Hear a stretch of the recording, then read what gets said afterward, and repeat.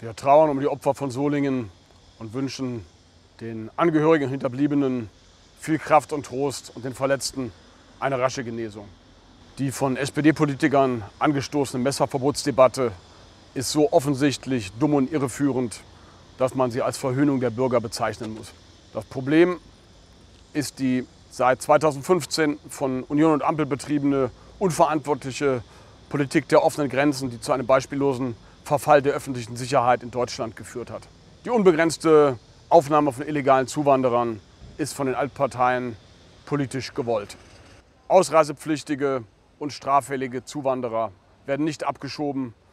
Der Mörder von Solingen konnte sich seiner Abschiebung leicht entziehen.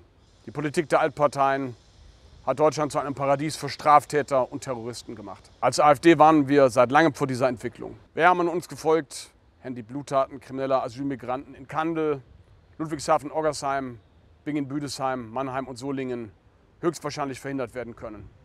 Jetzt brauchen wir keine Entwaffnung unserer Bürger, sondern eine klare Migrationswende mit den folgenden zehn Punkten.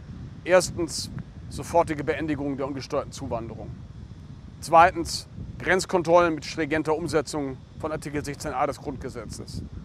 Drittens eine drastische Reduzierung der überhöhten Sozialleistungen für Asylbewerber.